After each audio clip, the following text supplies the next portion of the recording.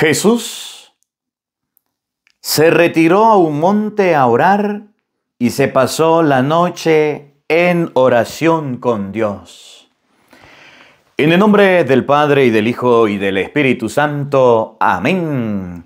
El Evangelio del día con el Padre Marcos Galvis. Queridos hermanos, sean bienvenidos a la meditación y al compartir de la palabra de Dios. Vengo saliendo de grabar la Santa Misa y vamos ahora a meditar el Evangelio, vamos a meditar la palabra de Dios de hoy, Lucas 6:12. Antes de Jesucristo tomar la decisión de quién escoger, recuerde, usted puede leer Lucas 10, Jesús tenía 72 discípulos y antes de escoger 12, Marcos 3:13 llamó a los que él quiso para que estuvieran con él. Antes de hacer cualquier cosa, Jesucristo oraba. ¿Cómo la ve? Jesucristo hacía oración. Y miren que los planes de Jesucristo eran planes muy acertados. Y miren que los proyectos de Jesucristo eran muy buenos. Y poco fracasaba.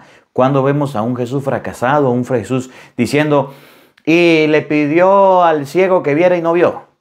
Y le pidió a Dios este, bendecir el agua para convertir y no la convirtió. No. Los proyectos que Jesús tenía los proyectos que Jesús tenía los acertaba. Una vez podemos ver cómo el joven rico se acercó, pero fue el joven que se acercó. Y el joven se fue triste y no lo siguió porque era muy, muy rico. Pero la mayoría de los proyectos de Jesús eran acertados. ¿Cuál era la clave? ¿Cuál es la clave para que ustedes y yo tengamos decisiones buenas en la vida? Para que esas decisiones que tomemos sean las mejores. ¿Cuál es la clave? Para que cuando ustedes y yo hagamos algo, lo hagamos bien. A pesar de lo que venga, salga bien. Hoy el Evangelio nos lo enseña. Vamos a meditarlo. Evangelio de San Lucas, capítulo 6, versículo 19. Oído al tambor, paren la oreja. Los buenos somos más. Y llegó la hora de evangelizar. De la primera carta del apóstol San Pablo a los Corintios. Hermanos, cuando alguno de ustedes tiene algo contra un hermano, ¿cómo se atreve a llevar el asunto ante los tribunales paganos y no ante los hermanos? ¿No saben que los hermanos van a juzgar al mundo? Y si ustedes van a juzgar al mundo, ¿no son acaso capaces de juzgar esas pequeñeces? ¿No saben que vamos a juzgar a los ángeles? Pues, ¿cuánto más los asuntos de esta vida? Sin embargo, ustedes cuando tienen que resolver asuntos de esta vida, se los llevan a los que no tienen ninguna autoridad sobre la comunidad cristiana. ¿No les da vergüenza? De modo que no hay entre ustedes ninguna persona competente que pueda ser juez de ustedes y van a pleitar hermano contra hermano ante los infieles? El mismo hecho de que haya pleito entre ustedes ya es una desgracia, porque mejor no soportan la injusticia, porque mejor no se dejan robar, pero no, ustedes son los que hacen injusticias y despojan a los demás que son sus propios hermanos. ¿Acaso no saben que los injustos no tendrán parte en el reino de Dios? No se engañen, ni los impuros, ni los idólatras, ni los adúlteros, ni los afeminados, ni los homosexuales, ni los ladrones, ni los avaros, ni los borrachos, ni los difamadores, ni los estafadores tendrán parte en el reino de Dios. Y eso eran algunos de ustedes, pero han sido lavados, consagrados y justificados en el nombre del Señor Jesucristo y por medio del Espíritu de nuestro Dios. Palabra de Dios. Todos te alabamos, Señor. Al Salmo número 149 vamos a responder todos. El Señor es amigo de su pueblo. Todos. El Señor es amigo de su pueblo. Entonen al Señor un canto nuevo. En la reunión litúrgica proclámenlo. En su Creador y en su Rey, en el Señor, Alégrese Israel, su pueblo santo. Todos. El Señor es amigo de su pueblo. En honor de su nombre que haya danzas. Alábenlo con arpas y tamboriles. El Señor es amigo de su pueblo y otorga la victoria a los humildes. Todos. El Señor es amigo de su pueblo que se alegren los fieles en el triunfo, que inunde el regocijo sus hogares, que alaben al Señor con sus palabras, porque en eso su pueblo se complace. Todos, el Señor es amigo de su pueblo. Aleluya, aleluya. Yo los he elegido del mundo, dice el Señor para que vayan y den fruto y su fruto permanezca. Aleluya, aleluya. El Señor esté con todos ustedes. Mis hermanos, les anuncio la buena noticia de nuestro Señor Jesucristo según San Lucas. Gloria a ti, Señor.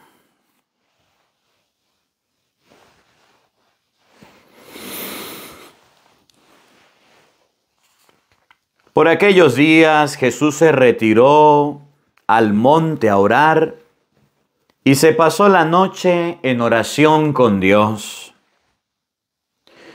Cuando se hizo de día, llamó a sus discípulos, eligió a doce de entre ellos y les dio el nombre de apóstoles.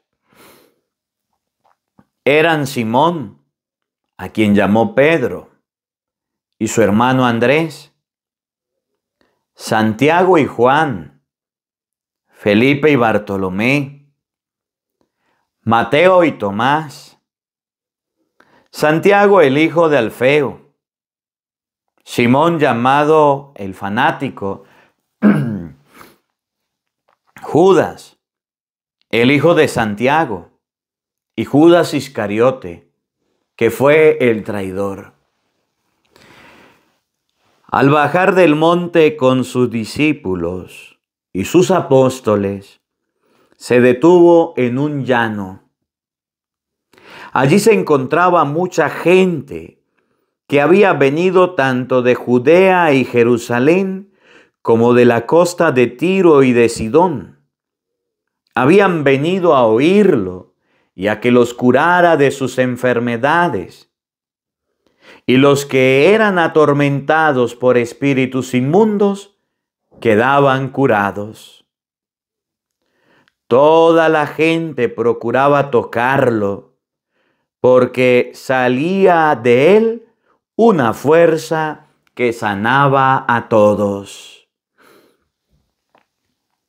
Palabra del Señor.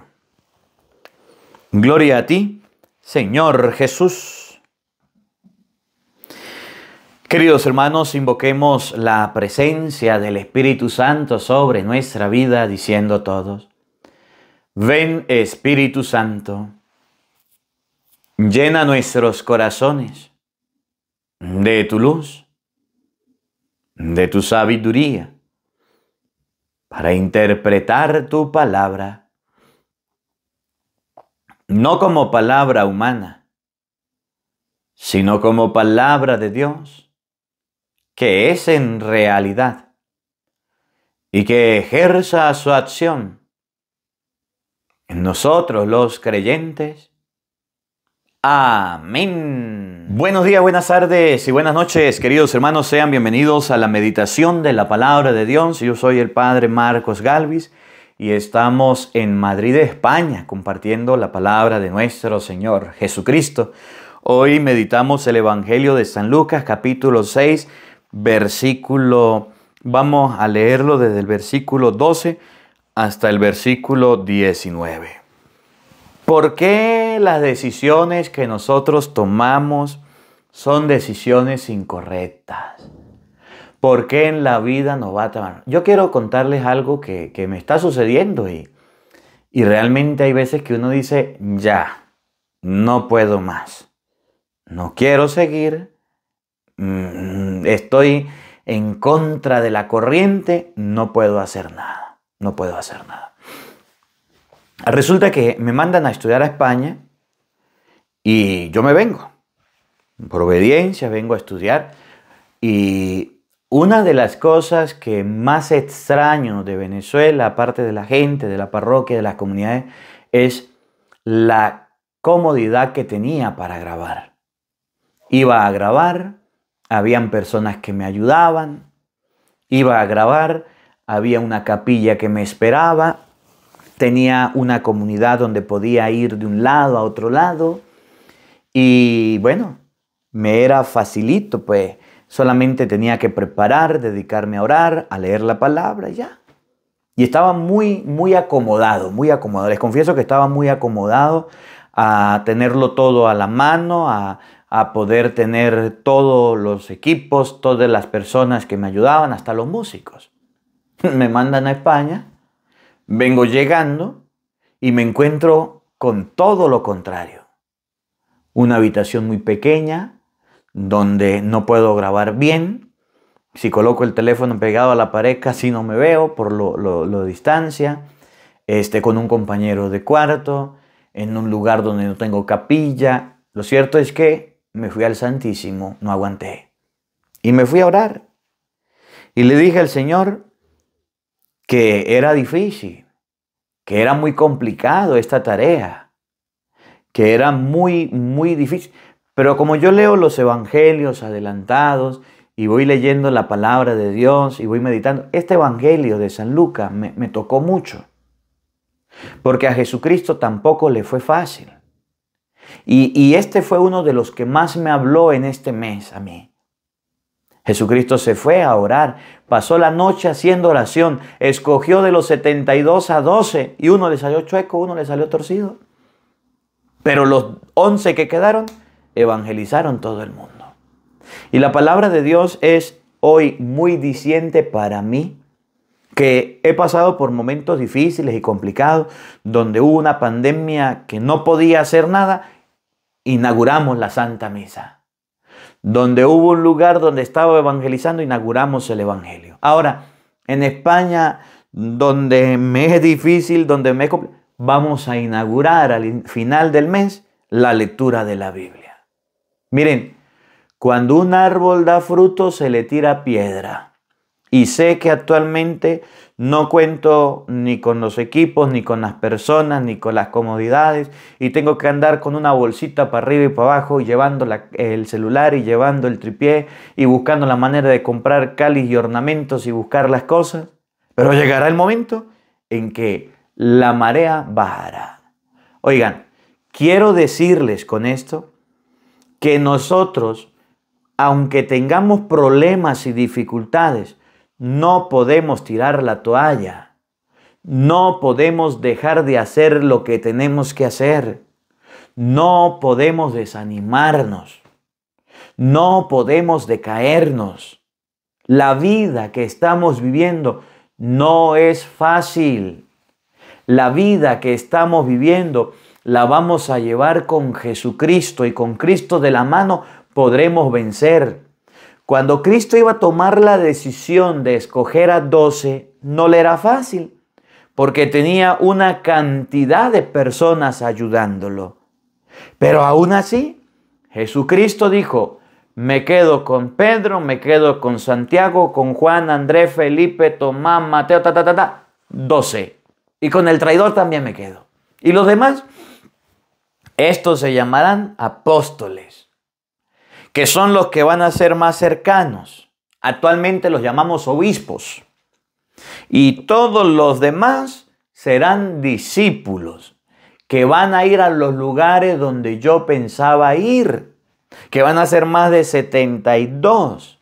Pero eso sí, gente que va a tener problemas, dificultades, que van a seguir tanto, que, que un día Jesús le dijo a Pedro, Lucas 22, 31, el diablo mismo pidió permiso para zarandearte como trigo. Yo he rogado por ti para que tu fe no se venga abajo.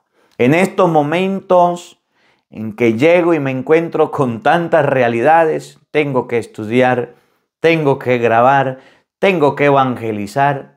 Me doy cuenta que el trabajo de los sacerdotes aquí es más tranquilo, que uno puede llegar y pasar todo un mes sin hacer una misa. Yo no soy de esos. Que uno puede llegar y pasar todo el mes sin grabar y sin predicar. Yo no soy de esos. Me da afán, me, me desespera y me estoy dando cuenta por qué los estudiantes, sacerdotes se vuelven perezosos y no vuelven a sus dioses. Si yo cuando estaba en Venezuela, vamos a una olla solidaria, vamos a un campo, vamos al basurero, vamos al hospital, y ustedes miraban los videos que podíamos subir, vamos a tal lado, vamos al otro lado, vamos a una misa, un enfermo, a atender a la gente, confesiones. Y todo el día ocupado en una grabación, en un evangelio, en una predicación. Y cuando llego aquí, de brazos cruzados, yo no me voy a quedar de brazos cruzados. Aunque sea, voy al Santísimo a orar. Dios está preparando un nuevo proyecto. Es el momento de la oración y lo estoy haciendo. Pero el día que aclare, el día que madrugue, el día que salga el sol, ese día toca trabajar. Trabajar. Yo no quiero volverme igual que el montón. Yo no quiero ser igual que los demás. Quiero concentrarme en el trabajo. En esto ya le decía, hablaba con un sacerdote. Y el padre muy, muy contento y muy bueno. Y a lo mejor no sé si escucha o no escucha. Y si escucha, pues bueno. Eh, que venimos, que estudiamos, que nos preparamos, que el estudio es maravilloso, claro que lo es. Yo estoy impactado, emocionado y le digo algunas cosas que he aprendido. Como busca la sierva corrientes de agua, así mi alma te busca a ti, Dios mío. Y decía el profesor, miren cómo es Israel, pura piedra y puro desierto. En Israel encontrar agua es muy difícil. Y cuando el salmista escribe, como busca la sierva corrientes de agua, así mi alma te busca a ti, Dios mío, era que la sierva tenía sed y al encontrar agua salía corriendo, la tomaba y la bebía y la conservaba y cada vez que tenía sed iba allá. La sierva es el animalito que al encontrar agua sabe dónde está, se lo aprende de memoria y sigue yendo. Ojalá los cristianos fuéramos como la sierva, que al saber que Cristo es la fuente viva del manantial, acudamos a Él. Salmo 23. El Señor es mi pastor, nada me faltará. Cosas que he aprendido, que no lo sabía a lo mejor, pero que, el estudio es muy bueno, le estoy mostrando. Con, eh, el Señor es mi pastor, nada me faltará. Por verdes praderas me hace reposar. Y decía el Padre, miren cómo es Israel, seco, ¿De dónde campos? ¿De dónde, de, dónde eh, alimento para las ovejas? Y cuando dice el Señor es mi pastor, nada me faltará. En verdes praderas me hace reposar. Significa que los pastores pasaban las noches y sabían dónde había pasto, iban a buscarlo y llevaban a las ovejas a comer y las ovejas estaban tranquilas y seguían al pastor porque si se descarriaban sabían que se iban a morir de hambre y aquella clase tan bonita. Otra cosa, Lucas, San Juan capítulo 21. Eh, cuando Jesús Pedro dijo, vamos a pescar, yo me voy a pescar, yo también voy. Y estando pescando se apareció Jesús en la orilla y el discípulo amado dijo, es el Señor. Pedro estaba desnudo Y dice la Biblia, cuando vio que era el Señor, se puso la ropa. Y decía el padre, ¿y para qué se puso la ropa si cuando usted se lanza al agua se lanza sin ropa? ¿Qué significa ponerse la ropa? ¿Para qué lo hace? Luego, más adelantico, eh, Simón, hijo de Juan, ¿me amas más que esto? Sí, Señor, tú sabes. Apacienta mis ovejas. Sí, Señor, tú sabes, apacienta mis corderos. Y el padre decía, ¿qué es una oveja? ¿Qué es un cordero? La oveja es un animal grande, un grupo grande, y el cordero un animalito pequeño. El que estudia aprende. Y yo hablaba con el padre y yo le decía, Náguara, yo he aprendido en tan pocos días en la clase, estoy emocionado, estoy estasiado, ¿cómo saben? Y yo le decía, ¿por qué cuando nosotros sacerdotes venezolanos venimos aquí, a España, a Roma, a estudiar, y nos regresamos a Venezuela, le exigimos al obispo que nos mande a la mejor parroquia, que nos mande a la mejor comodidad, es decir, a la parroquia que da más dinero, a la parroquia que sea mejor la catedral, que me manden al seminario, que me manden a la curia. ¿Y por qué no le decimos al obispo que nos mande a la parroquia más dura? Tenemos conocimiento, aprendimos tanto. ¿Por qué no le decimos al obispo que nos mande, ya salimos del estudio de la oración, vamos ahora al campo, vamos ahora a la mies? ¿Por qué no vamos a los lugares más duros? Y el padre agachaba la cabeza. Y yo decía, Dios me libre de eso. Qué bonito que uno estudie, qué bonito que uno se prepare. Tiempo de preparación, tiempo de oración. Pero dice la Biblia que de una vez saliendo Jesús de la oración, de saliendo del, escoger sus apóstoles, se fue a trabajar y se fue a predicar. Se fue a llevar la palabra de Dios. Una de las cosas que yo le he pedido a Dios es que estando aquí no me cambie. Ni siquiera, por ahí andaba, que cambie el número de teléfono, Padre. Que tiene que aprender a hablar de voz, de yo no sé qué. Yo leo lo que está escrito y hablo a mi manera. Me mandaron para acá. ¿Yo por qué voy a cambiar si cuando regrese a mi tierra seré el mismo y voy a tener de nuevo que amoldarme a lo que soy? Hoy la palabra de Dios enseña que Jesucristo, una vez bajado del monte, se detuvo en un llano y se puso a enseñar a la gente que había venido a oírlo. Jesús se fue a orar, a encontrarse con Dios y cuando bajaba de encontrarse con Dios, se iba a la práctica, se iba a la acción. Nosotros los cristianos nos hemos quedado en pura oración, en puro Padre nuestro y en Ave María, los pobres necesitados, los hambrientos necesitados, la gente sufriendo, la gente padeciendo y no ayudamos en nada. Basta de ser cristianos espectadores, ¿Cuándo va a ser el día que usted se va a poner a trabajar? ¿Cuándo va a ser el día que usted se va a poner a servir? Yo le digo, eh, iniciamos grabando, nos quitaron todo, empecé a trabajar en una parroquia, apareció el Evangelio del día. Vino la pandemia, vinieron las dificultades, iglesia cerrada, apareció la Santa Misa me mandan a estudiar Biblia, me mandan a, escudriñar la escritura en el nombre de Dios y María Santísima, aparecerá la Biblia hablada, leída. Y quién sabe más que aparecerá. Entre más se exprime la uva, más jugo saca. Si ustedes y yo somos cristianos, debemos aprender a Cristo. Solamente nos quedamos con la oración. ¿Y dónde está la acción? ¿Dónde está el trabajo? No nos desgastamos por el Evangelio, no damos nuestra vida por el Evangelio. Yo nunca me he considerado una persona floja, perezosa. Amo lo que hago, vivo lo que, lo que predico, lo que enseño. Pero el diablo siempre está enojado y está fastidiado y no le gusta. Y aquí en España me ha puesto tantos obstáculos y tantas dificultades que yo estoy tranquilo. Yo digo, en el momento en que Dios me permita, llevo, ya no sé cuántos días llevo aquí. Como, como, ya les digo, exactamente, ya abro un paréntesis. 11 días y todavía no he podido hacer una misa en alguna parroquia, no he podido presidir, no he podido predicar. No sé por qué, pero el día que me toque, el día que me toque lo voy a hacer.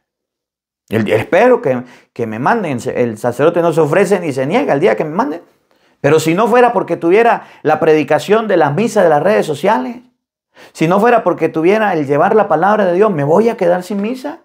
Pues me fui a buscar que me prestaran un cáliz y me prestaran los ornamentos y, buscar dónde hacer la misa y ahí ando. En una capilla que me prestan, en otra capilla que me prestan y acabo de terminar la misa y vine a grabar el Evangelio para ustedes. Pero no me voy a quedar de brazos cruzados.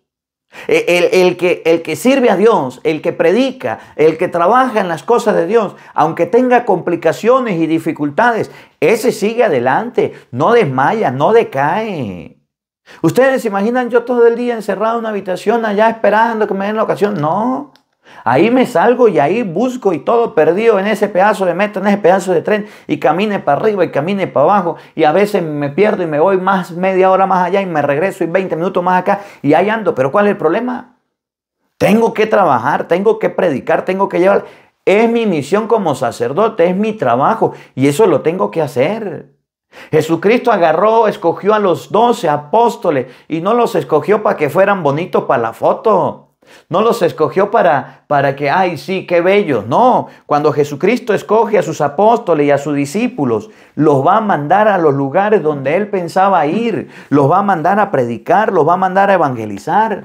No que sean unos dormidos, no que sean unos flojos, eso no quiere Dios. San Pablo llegó a decirlo con estas palabras, pues el que no trabaje, pues que no coma, porque nos hemos enterado que hay mucha gente metiéndose en todo, pero no quieren trabajar. A eso les exhortamos que se pongan las pilas a trabajar. Miren cómo lo dice Lucas, capítulo 10, versículo 1 y siguiente.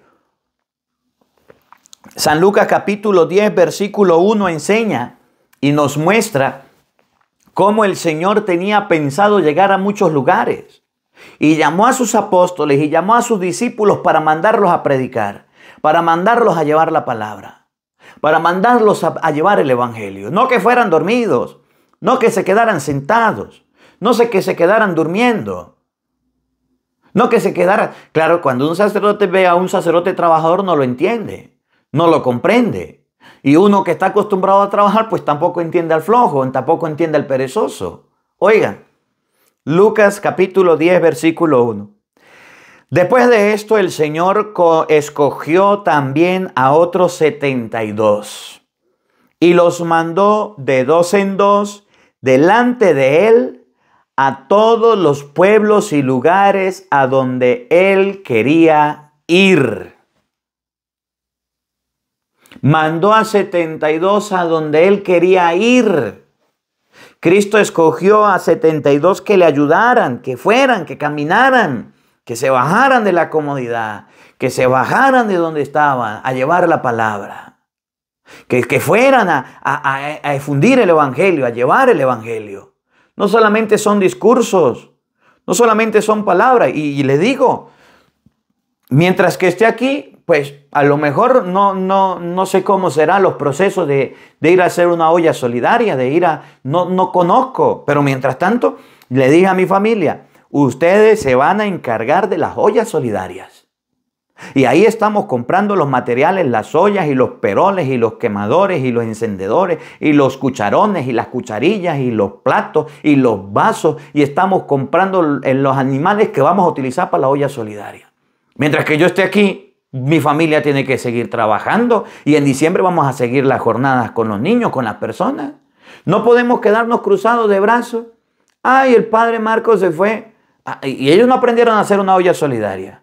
Y allá les dije, y ahí está mi mamá y mis hermanas, y gracias con el padre Ricardo de Cáritas allá, dando, corriendo, dando brinco y dando... Pero vamos a empezar las ollas solidarias, vamos a continuarlas.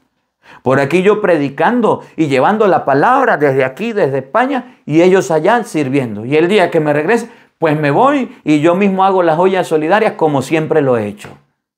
Oiga, e, en la iglesia necesitamos gente que sirva, que trabaje, que gente que haga las cosas que tiene que hacer. No necesitamos puros espectadores. Tanta gente va a la misa y no quiere ser catequista. Tanta gente va a la iglesia y no quiere cantar ni leer, ni para un carrizo quiere servir. Ay, padre, no me diga así. Jesús pensaba ir a diferentes lugares y mandó a 72 y decía Jesús, oigan, les dijo, ciertamente la cosecha es mucha, pero los trabajadores son pocos. Pidan al dueño de la mies que envíe trabajadores a sus campos. La cosecha, mucha. Los trabajadores, pocos. Miren, trabajo hay. Evangelización hay. Necesitamos de manos que lleven, bocas que prediquen, pies que caminen para llevar el Evangelio. Pero pocos se comprometen y pocos llevan la palabra. Y esos 72 que se fueron, dice el versículo 17, hicieron temblar al mismísimo diablo. Los 72 regresaron muy contentos diciendo, Señor, hasta los demonios se nos sometían en tu nombre. Y dijo Jesús, sí, yo vi a Satanás caer del cielo como un rayo. Cuando la palabra de Dios se predica, cuando la palabra de Dios se evangeliza, el diablo se cae. Por eso el diablo odia tanto y le hace la vida imposible a un sacerdote que predica. Por eso el diablo le declara la guerra. No lo deja en paz. Miren al santo cura de Ar, predicador y confesor, le daba palo, le daba palizas. Miren a Padre Pío, la historia de Padre Pío, el diablo le daba palizas porque predicaba y porque confesaba y lograba la salvación de las almas. Y miren cómo el enemigo nos hace la vida imposible. Llegar a España y no tener un lugar, gracias a los padres venezolanos que me han recibido y me han invitado a que acompañen la misa los domingos.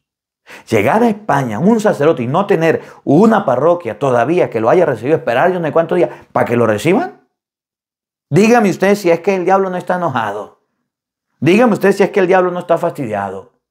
No quiere ni que hable, no quiere ni que predique, no quiere ni que evangelice. Ah, yo me quedé cruzado, ahí sí, está bien, tú manda, mandiga. No, aquí usted me ve a pie de cañón predicando, evangelizando, llevando la palabra, en medio de la incomodidad. Y a mí me preocupan mucho las personas que a veces me juzgan y, padre, es que usted solamente se pone eh, la estola. Y ¿por qué no se pone la casulla? Padre, es que ese fondo que usted tiene no me gusta. si usted supiera las que estoy pasando para poder grabar un evangelio, para poder grabar una misa, si usted supiera lo duro que me ha tocado, el no tener una capilla, el no tener una iglesia, mejor ni criticaría. Critique lo que quiera. El diablo también utiliza a los cristianos para criticar y para hablar en medio del cambio de, de horario, en medio de cambio de, días, de, ambiente, de país, no es fácil. Gracias a Dios. Yo, mire, yo sí le doy gracias a Dios. Lo único que a mí me fuera costado, pero de muerte lenta, era aprender otro idioma. Gracias a Dios me mandaron a España y no me mandaron a, Roma. Porque en Roma sí yo estuviera, pero juntado los rotos con los escocíos, y yo creo que ya me fuera regresado a Venezuela porque el idioma no lo entiendo. Otro idioma no lo entiendo. Se me hace difícil. Vi a Satanás caer del rayo, como un rayo del cielo. A eso pasa cuando se predica la palabra. Claro, como se le da un platanazo tan duro, el diablo hace la vida imposible. Con cristianos, con católicos, con esto, con aquello. ¿Y qué vamos a hacer? ¿Y, qué vamos a hacer? y, le pido a Dios que todavía compartan el Evangelio, compartan la palabra, que todavía no me conozcan, porque el día que me conozcan y por ahí me reconozcan, me van a mandar que, que, calle, que, que, pues que me regresen a Venezuela. Pero yo no estoy dispuesto a dejar de predicar. Que me manden por donde vine. Porque aquí hay muchos vicios y yo me he dado cuenta de muchos vicios. Y me he dado cuenta de muchos pecados. Y me he dado cuenta de muchas situaciones adversas que se están presentando. Y con el transcurso del tiempo se las voy a ir diciendo. Que las mujeres son casadas y, y las jubilan y cuando regresan a la casa ya se quieren divorciar porque no aguantan al marido. Mientras que estaban trabajando vivían como los perfectos extraños. Que si el marido, el marido ronca mucho, que si la esposa yo no sé qué, entonces viven, duermen en camas separadas. Y, esas son las cosas que hablan y que dicen. Y entonces, eh, si la persona está enferma y, está en mucho gastadero de dinero, entonces le aplicamos una inyección para que se muera, ya. Eh, si, la, si la persona está adulta y ya es una carga familiar, pues la mando para un ancianato y ya, y chao. ¿Qué sinvergüenzuras son esas? ¿Qué sinvergüenzuras son esas que están presentando? Que la mujer es dueña de su cuerpo y entonces si el niño va a nacer, la mujer decide si nace o no nace y chao, chao, le quita, interrumpe el embarazo. ¿Qué, qué cosas son esas? ¿Qué cosas son esas? Sí, y se están presentando. Y yo digo, caramba, qué feo está el mundo. Y por aquí está peor. Pero yo tengo que predicar y tengo que evangelizar. Por eso es que el diablo, eh, al principio me callaban las personas, ahorita es el mismo diablo que no quiere que predique. Y yo se lo digo y se lo repito, ustedes son el ministerio de intercesión del Padre Marcos Galvi. Ahorita estamos luchando una guerra muy dura, dura, dura, dura, una de las más duras, donde no tengo ninguna posibilidad de levantar la cabeza porque no conozco, porque no sé nada. Y aún así estoy por ahí de asomado. Y por aquí el Evangelio, y por aquí está la misa, y ole, y dele, y predique. ¿Qué voy a hacer? Tengo que hacerlo, es mi tarea y buscaré la manera y buscaré los medios. Mientras que tenga vida y salud, pueda hacerlo y con la sabiduría y con la gracia de Dios lo voy a seguir haciendo. Aunque al enemigo no le guste, aunque pase lo que pase y que comience de cero, porque aquí comencé de cero sin nada, con mi celular, ni tripié, ni nada traje, y poco a poco tengo que ir recogiendo y buscando las cosas necesarias, porque no me podía traer una maleta full. Por eso vine a estudiar con unos libros y ahorita tengo que estudiar mucho trabajo, mucho trabajo. Pero al que más se le da, más se le exige. Si yo recibí cinco talentos, recuerdan, estos días le imagino, si recibí cinco talentos, tengo que multiplicarlos. Yo no lo voy a esconder, yo no lo voy a guardar. Y si me conocen, ¿para qué me mandan? Pues yo venía, estaba muy tranquilo y me mandaron, pues ahora que me aguanten, ¿qué vamos a hacer? Vi a Satanás caer del cielo como un rayo por predicar, por llevar la palabra. Por eso es que el diablo está enojado. Por eso es que el diablo está furioso y no quiere nada. Pero Dios es más poderoso y Dios es más grande. Y me gusta mucho hoy el Evangelio de San Lucas capítulo 6 versículo 12. Porque a veces nosotros tomamos decisiones y no son decisiones acertadas. Son decisiones apresuradas. Cuando ustedes y yo tomamos una decisión apresurada y no acertada, esas decisiones nos llevan al fracaso. Cuando ustedes y yo tomamos una decisión acertada, pensada, meditada, reflexionada y orada, esas decisiones nos llevan al éxito. La iglesia es muy sabia y la iglesia nos enseña muchas cosas buenas. Por ejemplo, cuando yo recuerdo cuando iba a ser ordenado diácono de la iglesia, el señor obispo me llamó y me dijo, mire padre, mire Marcos, usted va a ser diácono, es acólito, necesita meter una carta donde le pida al obispo que quiere ser diácono. Y en esa carta usted va a escribir que debe hacer un retiro de una semana. Y se me va a un retiro de una semana y vive un retiro de oración, de meditación, de contemplación y después de esa semana escribe la carta y me la entrega. Y si no quiere ser diácono, pues se va para su casa. Y habían pasado nueve años de estudio. Y me fui al retiro. Y en el retiro lo mismo del Evangelio. Hice oración, medité, reflexioné, analicé. Y después del retiro me vine y hice mi carta. Yo Marcos Galvi, ciudadano tal, cédula tal, le pido a usted, su eminencia, Monseñor eh, José Luis, que me ordene diácono de la iglesia. Lo he meditado, lo he reflexionado. Y Dios lo, lo ordenamos diácono. Después de seis meses de ordenado diácono, me llama el obispo y me dice, es el momento de meter la carta de sacerdote. La misma recomendación, se me va de retiro. Y en el retiro usted le va a pedir a Dios que le ayude a tomar una buena decisión. Si usted es diácono y no quiere ser sacerdote, pues se va para su casa. Pero si usted es diácono y quiere ser sacerdote, primero ore, medite, lea la Biblia, lea la palabra y me hace una carta. Y en la carta me dice que quiere ser sacerdote y yo le apruebo o yo le desapruebo. Y me fui, recuerdo, a, a Roma mandaron al padre Manuel y a mí me mandaron a España. Nos ordenamos en el mismo día, 7 de octubre, el 7 de octubre, día de la Virgen del Rosario. Y nos mandaron a juntos a estudiar, y nos ordenaron y nos mandaron a juntos a parroquia. Y me fui con el Padre Manuel del Retiro. Hicimos oración, hicimos meditación, leímos la Biblia, hicimos el retiro mínimo de una semana, vivimos la experiencia de Dios y a la semana volvimos con la carta. Monseñor, aquí está la carta donde le hacemos la petición para sacerdote. Se quedó con la carta, la consultó con el colegio de consultores y después nos llaman, vengan para acá, pajaritos. Ha sido aprobada su carta. Ahora vamos a colocar fecha de ordenación. 7 de octubre, día de la Virgen del Rosario. Claro que sí, y nos ordenamos ese día. La, la ordenación sacerdotal es algo que se medita, es algo que se reflexiona, es algo que se ora, es un, es un sacramento muy importante. Pero hoy día la gente, para tomar una decisión importante como un matrimonio, importante como ir a estudiar una carrera, importante como escoger un trabajo, no hace oración, no le pide a Dios. Cristo iba a comenzar su tarea de predicar, de evangelizar con 12 discípulos, con, con 12 apóstoles, con 72 discípulos, y pasó toda la noche haciendo oración, y pasó toda la noche hablando con Dios, y al otro día se levantó y tomó la decisión, esto, esto y esto. Y nosotros en la vida Primero metemos las patas, tomamos decisiones y ahí Dios que me agarre y Dios mío, auxilio, socorro, el tanque y el chorro, me ahogo, no sé qué hacer con mi vida. ¿Por qué no oró primero antes de tomar una decisión? ¿Por qué no le suplicó al Señor primero antes de meterse en ese camino? Hacemos todo chueco, todo torcido a como nos venga en gana y creemos que Dios es un mago y con una varita mágica nos va a resolver todo. No, primero se toma la oración, primero se medita, primero se hace un retiro, se va al Santísimo y se le pregunta a Cristo y se le dice al Señor, voy a hacer esto, este es mi proyecto, esta es mi meta, este es mi proyecto de vida, estos son mis estudios, este es mi trabajo, este es mi paseo, esto es lo que yo pienso hacer. ¿Será que usted lo aprueba? ¿Será que usted me apoya? Y ahí Dios en tu mano me encomendo y me persino y déjele para adelante. Pero no lo hacemos así.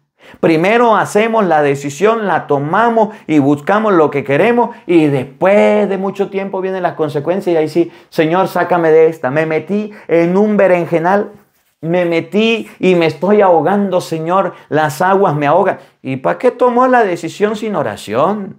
¿Y para qué tomó ese rumbo sin pedirle y consultarle a Dios? Ese es el problema de los jóvenes.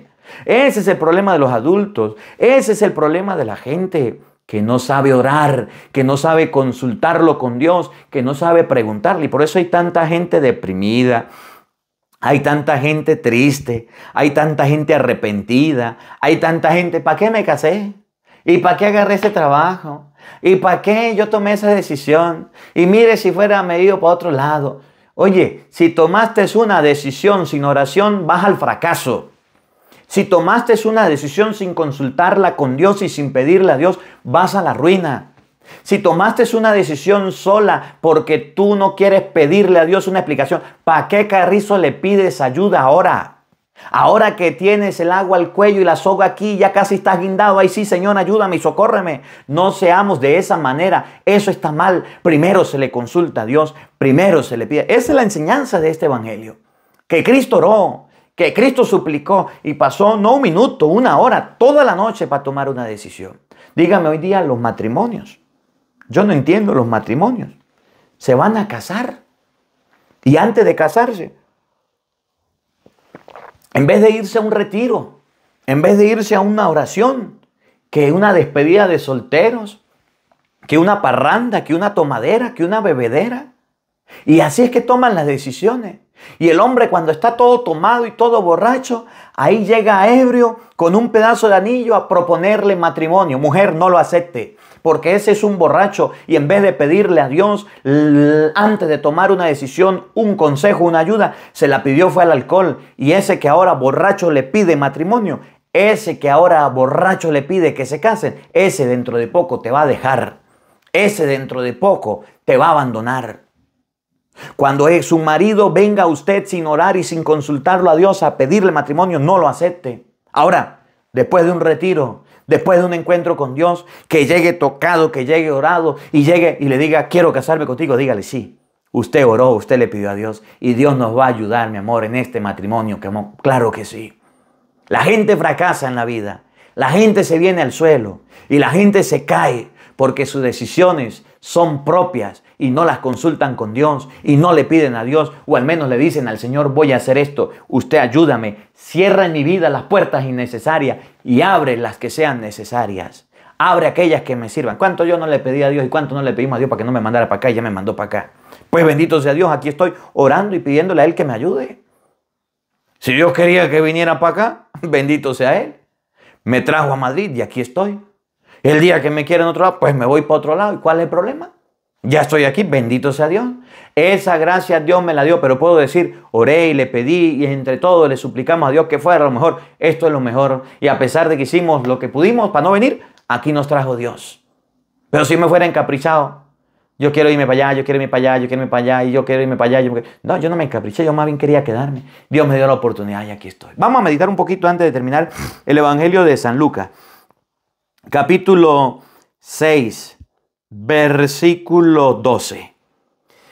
Por aquellos días Jesús se retiró al monte a orar y pasó la noche en oración con Dios. Miren, ¿cuánto oró Jesús? toda la noche.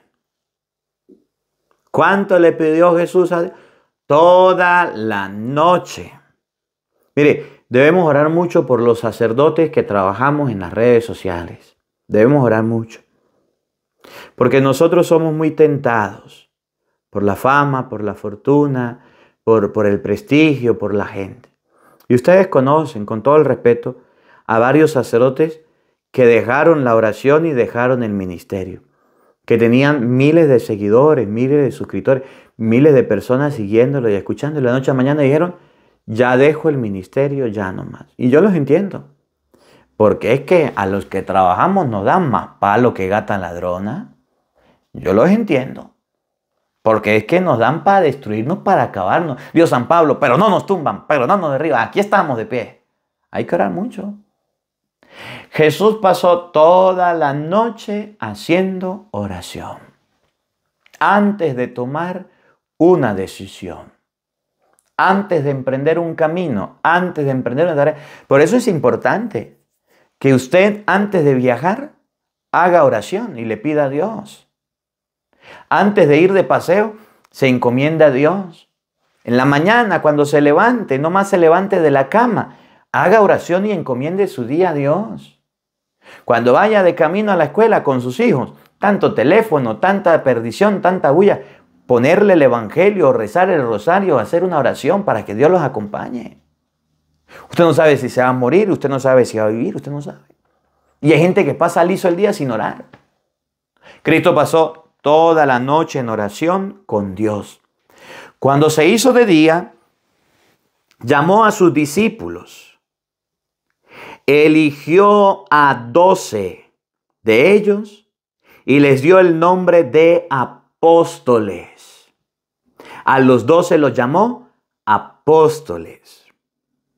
Eran Simón, a quien llamó Pedro, y su hermano Andrés, Santiago, Juan, Felipe, Bartolomé, Mateo, Tomás, Santiago, el hijo de Alfeo, Simón llamado el fanático, Judas, el hijo de Santiago, y Judas Iscariote, que fue el traidor. De todo lo que oró, de todo lo que salió uno picho, uno torcido, uno chueco. Fue el que lo entregó, pero hizo oración. Y si no hubiera un Judas traidor, no hubiera un Cristo redentor, no hubiera un Salvador. Y Cristo resucitó porque Judas lo entregó y murió y ahora vive y reina por los siglos de los siglos. Escogió a doce para la misión. Y escuchen, no es que agarró y les dijo, mire, ustedes váyanse a trabajar. Y no, no, no, no. A mí me encanta de Jesús. A mí me fascina de Jesús que, mire, Jesús era incansable.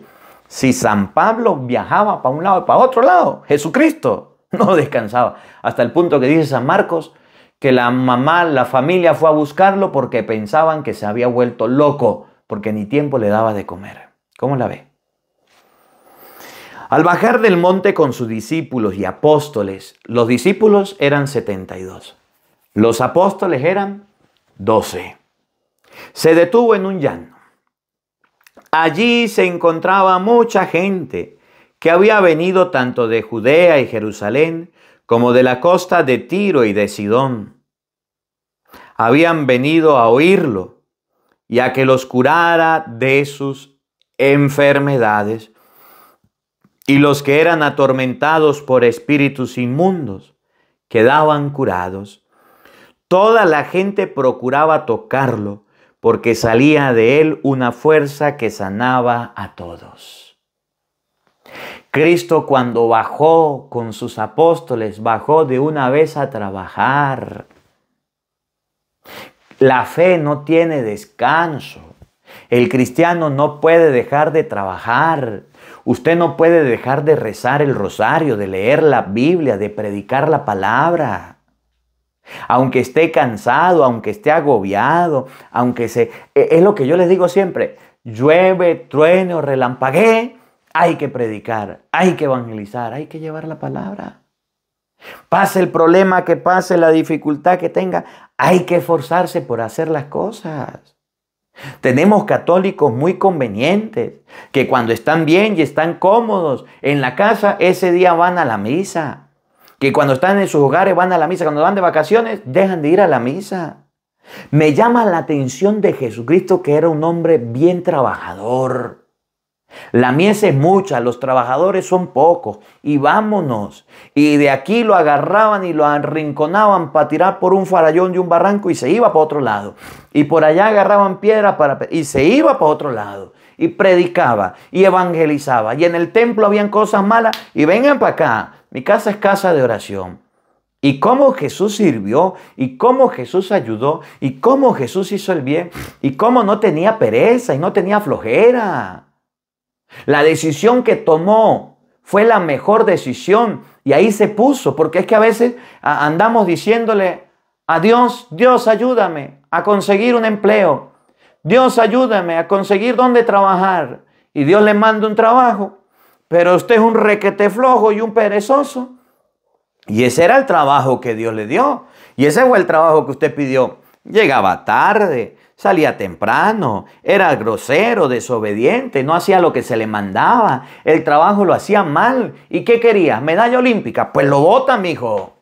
Usted a Dios le pide, le suplica, a Dios le, reclama y le clama y Dios le da el trabajo, pero usted es el encargado de trabajar, Dios le dio el trabajito. Es como yo, sacerdote, Señor, ayúdame que la gente vaya a la iglesia, Señor, ayúdame que la gente escuche la palabra de Dios. Señor, yo quiero ser lo mejor, mándame donde tú quieras y llévame. Me mandaron a España, dejé de trabajar.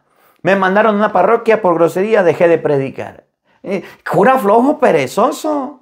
¿Acuerdan de la parábola de los talentos? El que tiene se pone a negociar y gana otros cinco y el otro gana otros dos y el flojo y el perezoso va y esconde el talento debajo. Tuve miedo, Señor, tuve miedo. Escondí tu talento debajo de tierra. A mí me da miedo. Yo no sé, no. Si Cristo es nuestro ejemplo, es nuestro hermano mayor de quienes hemos aprendido, debemos hacer como Él. Donde a usted lo pongan, donde a usted lo lleven, donde a usted lo manden, ahí haga las cosas bien, haga las cosas de la mejor manera, con humildad, con sencillez, pero siempre confiando en Dios. Si es un médico, sea un buen médico. Si es un abogado, sea un buen abogado. Si es una ama de casa, sea un buena ama de casa. Si es un cocinero, una buena cocinera. Si usted es una persona que recoge las hojas, hágalo bien. Si usted es un maestro, hágalo bien. Si usted es un lector en la iglesia, pues lea bien, hijo. Si usted es el, que ayuda a recoger la ofrenda eh, eh, en, la, en la iglesia, pues hágalo bien. Si usted es el sacristán, haga un servicio bien. En las cosas de Dios debemos también hacer las cosas bien. Ya le hemos pedido, ya le hemos suplicado. Ahora nosotros coloquemos de nuestra parte que nosotros hagamos lo que podamos y Dios hace el resto. Que nosotros hagamos lo humanamente posible y Dios hace lo imposible. Que nosotros hagamos lo que esté a nuestro alcance y Dios lo que no alcanzamos. Que nosotros abramos aquellas puertas fáciles y que podamos pasar y que Dios abra las difíciles. Hoy la palabra de Dios nos enseña a orar, a pedirle a Dios, pero también a trabajar, a suplicarle al Señor. Y termino con, con aquella historia que un día le escuché a mi abuelo. Mi abuelo decía que una vez bajó Jesucristo y Pedro a la tierra y se fueron caminando por un camino. Y en el camino se encontraron a un hombre con una carreta y con la rueda salida. Y no podía levantarla porque era pesada. Y cuando Pedro vio al hombre con la carreta trabajando y tratando de meter la, rueda de la carreta, le dijo Pedro a Jesús, Señor, vamos a ayudarlo. Y pues Jesús le dijo, no, no lo vamos a ayudar porque él piensa que puede con su fuerza. No está pidiendo a Dios. Siguieron caminando y se encontraron a otro hombre en la misma situación, la carreta dañada. Pero aquel hombre estaba de rodillas y pidiéndole, Señor, ayúdame, Señor, socórreme, Señor, ayúdame. Pero no hacía nada porque la carreta se arreglara. Y dijo, Pedro, mire, este está orando, vamos a ayudarlo. Y le dijo, no, Señor, a ese no lo vamos a ayudar porque solo está orando, no está trabajando.